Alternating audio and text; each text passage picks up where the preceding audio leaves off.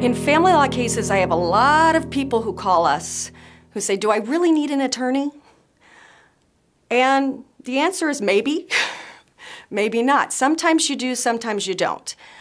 I think if one spouse has an attorney and you're representing yourself, you're at an extreme disadvantage. So that's one reason to get an attorney.